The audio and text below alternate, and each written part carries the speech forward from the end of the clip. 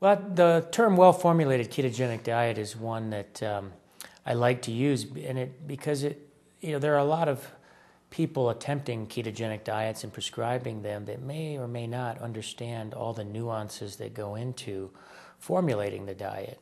So we often focus on the carb restriction, and that's a, certainly a, a, a, major component of a ketogenic diet is to get carbohydrate levels usually below about 40 grams but it varies from person to person. Some people may require less than 35 grams. Some people may be able to consume 60 grams and still be in ketosis. So, um, so that is something that needs to be uh, um, you know, experimented with on an individual basis and through trial and error.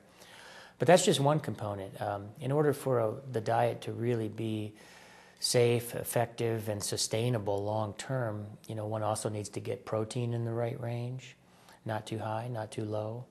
Uh, so it's not a high protein diet, but it's not a protein deficient diet either. So that has to be titrated to some extent as well.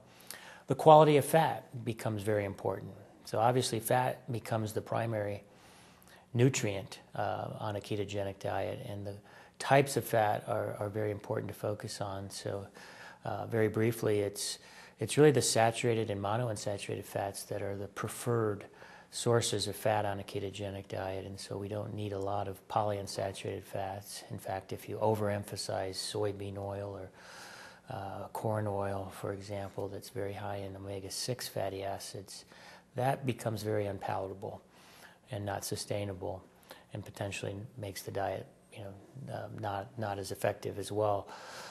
Um, the other major effect of a ketogenic diet that's different than a non ketogenic diet is the um, the uh, mineral nutriture, uh, and in particular, a ketogenic diet is associated with an accelerated loss of sodium, which can be a good thing if people are retaining excess fluid.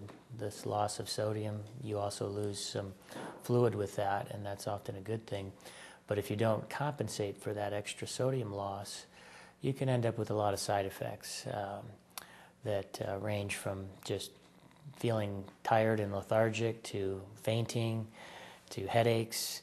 Um, and down, you know, down the road, if it continues long enough, you can end up with um, imbalances in other minerals like potassium and magnesium that ultimately not only minimize some of the effectiveness of the diet, but can make it unsustainable for folks. So, understanding some of these, uh, you know, different um, nutrient requirements beyond just the carb restriction um, all kind of factor into a, what, what I would consider a well formulated ketogenic diet.